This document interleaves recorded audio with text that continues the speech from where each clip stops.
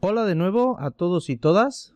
Vengo a contaros cómo empezar a sacar partido a la nueva plantilla de quiz flexible de Sandbox Educación que nos va a permitir hacer cuestionarios de una forma mucho más avanzada de la que teníamos hasta ahora en Geniali. Eh, como veis, la plantilla es reutilizable, por lo tanto solo tendremos que pulsar sobre el botón reutilizar y llevárnosla a nuestro editor. En este modelo de plantilla yo he preparado una portada para vosotros con las opciones de nueva partida y tutorial que podréis acceder dentro de la misma plantilla para verlo todas las veces que necesitéis. En la primera versión que quiero enseñaros eh, vamos a ver un juego sencillo pero con un montón de capacidades muy muy muy interesantes. Vamos a ir recorriendo todo lo que vemos en pantalla y a partir de ahí vamos desgranando cada uno de los detalles. Por ejemplo, tenemos eh, un cronómetro que nos va a permitir llevar un seguimiento del tiempo que tardamos en completar el juego. Tenemos una barra de vida para el usuario y una barra de vida para el jefe. Tenemos un conjunto de vidas para el usuario y un conjunto de vidas para el jefe. No necesitamos que sean todas visibles.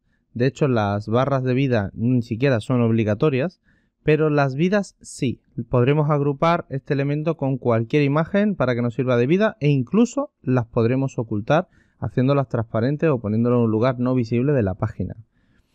Seguimos y tenemos el texto para, la etiqueta, para el enunciado que lo tenemos etiquetado como $txt quiz dólar. Añadiendo esta etiqueta en cualquier texto, haremos que la plantilla sustituya en ese, exactamente, en ese formato exactamente la pregunta que toque en cada momento. Igualmente con el dólar almohadilla reemplazaremos este pequeño texto con el número de la pregunta que estemos haciendo. También tenemos un botón aquí para audio es porque podremos introducir audios en cada una de nuestras preguntas, de una forma muy sencilla que veremos en un momentito. Este botón nos permitirá volver a escuchar tantas veces como necesitemos los audios que hayamos insertado en la pregunta. Aquí tenemos unas formitas y un textito agrupado que dice color error, color ok, default y selected. El error será el color con el que se marque la respuesta si nos equivocamos. El OK será el color para cuando acertemos una pregunta. El color por defecto, que es cuando no hayamos marcado ninguna, el color que mostrarán estos cuadros. Y seleccionado, pues el color que resalte la opción que hayamos clicado. También tenemos los comodines que usábamos ya en el ¿Quién quiere ser millonario? Este que eliminaría una opción de respuesta en las preguntas de opción múltiple y este que eliminaría dos opciones de respuesta siempre que sea posible en las preguntas de opción múltiple. Os adelanto ya que este cuestionario tiene la opción de contestar por respuestas múltiples o por entrada de texto por teclado. Es un avance claro respecto de la anterior plantilla de cuestionarios del quien quiere ser millonario. Aquí tenemos el cuadrito de la función, lo que llamamos cariñosamente el cerebrito, que no deberíamos borrarlo nunca, los comodines, por ejemplo, sí son opcionales y los colores que podemos utilizar también lo son. Aquí tenemos un cuadro de imagen. Imagen def, este marco para eh, encajar dentro, en tu rosco de preguntas, la imagen que queramos. Siempre estará contenida dentro de este marco, manteniendo las proporciones originales. Una nueva etiqueta, dólar feedback dólar, donde pongamos esta etiqueta en el formato que lo pongamos, quedará encajado el feedback que vayamos obteniendo en cada una de nuestras respuestas. Aquí tenemos la selección de idioma, actualmente configurada para español, pero podemos optar por inglés, catalán, francés, alemán, eh, portugués, euskera, italiano y seguimos ampliando idiomas continuamente, así que no dudéis en preguntar y en actualizar para estar siempre en todos los idiomas disponibles. Lo que cambia esto es los feedbacks automáticos, ¿de acuerdo? Solamente. También tenemos la opción de configurar el orden aleatorio a true o si lo establecemos como false o cualquier otra respuesta o directamente si borramos este elemento podremos hacer que las preguntas se realicen en un orden predefinido. Si lo dejamos como está en true, estas preguntas serán aleatorias. Hemos añadido un botón de volver sin más, con una interacción que permite salir del juego si no queremos continuar. Aquí tenemos botones Restart y Feedback Win, es decir, el botón que aparece para reiniciar el juego si no hemos conseguido superarlo y lo que queramos que aparezca como feedback de éxito.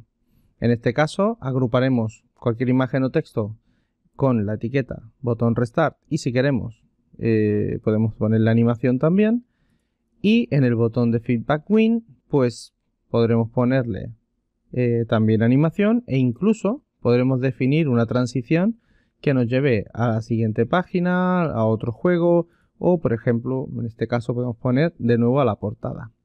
Siempre tenemos que darle una interactividad porque es nuestra vía de salida de este juego. Cuando hayamos superado nos permitirá continuar y salir. Y vamos ya, sí, a entrar en materia una vez que hemos visto todos estos elementos que definen un poco eh, la temática del, del juego y la navegabilidad. Vamos a ver cómo se crea un juego. Suponiendo que mantenemos toda la estética tal cual está, vemos que tenemos opción de respuesta 1, 2, 3 y 4. El número de opciones de respuestas es totalmente libre. Podemos poner 4, 5, 6, 10, 3, 2. ¿De acuerdo? Si planteamos preguntas que tengan muchas opciones de respuesta, pues se rellenarán todas. Si se da el caso de que en alguna pregunta incluimos menos opciones de respuesta de las que tenemos aquí disponibles, no os preocupéis porque las que no sean necesarias quedarán ocultas. Por ejemplo, si ponemos una pregunta de verdadero y falso, donde solo se utilice la opción 1 y 2, 3 y 4 quedarían automáticamente ocultas y no se mostrarían al usuario. Por lo tanto, solo dispondría de las dos opciones que nosotros planteemos. Pero aquí escondido tenemos también un cuadro de respuesta con el diseño que podemos modificar nosotros en el generador de cuadros y el botón validar para validar lo que escribamos en este cuadrito. Eso mm, lo tenemos ahí, lo dejamos detrás. Cuando toque una pregunta opción múltiple aparecerán estos. Cuando toque una opción de texto aparecerá la otra.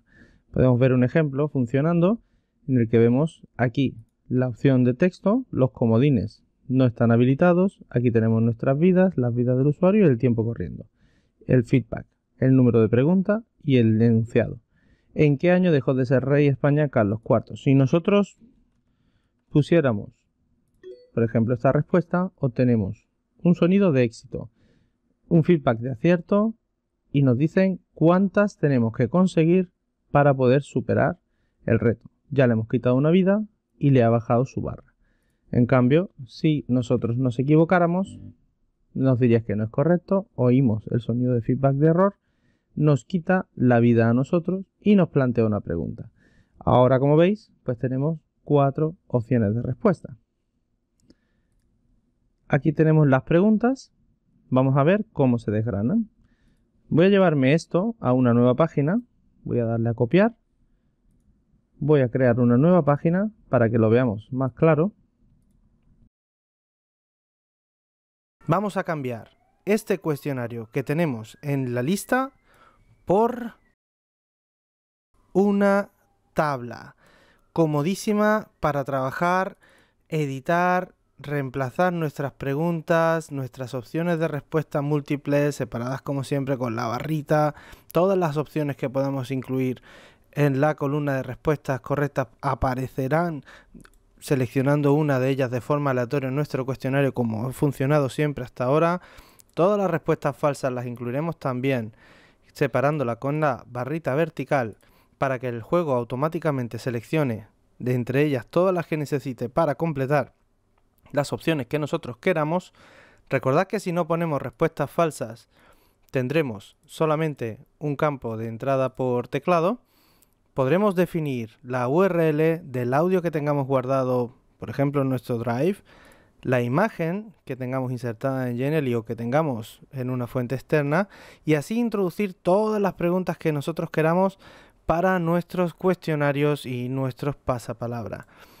quiero que veáis verdaderamente lo sencillo que es trabajar con esto y cómo nuestros cuestionarios pueden cobrar vida de forma muy muy muy sencilla en muy poco tiempo. Como veis, tenemos los enunciados, las opciones de respuesta múltiple y preguntas de entrada por teclado. Todo el resto de elementos lo tenemos descrito en nuestros tutoriales y como siempre al alcance de vuestra mano en el canal de YouTube al que por favor os pido que os suscribáis desde este momento y nos apoyéis en las publicaciones dándole pulgares arriba y mucho cariño.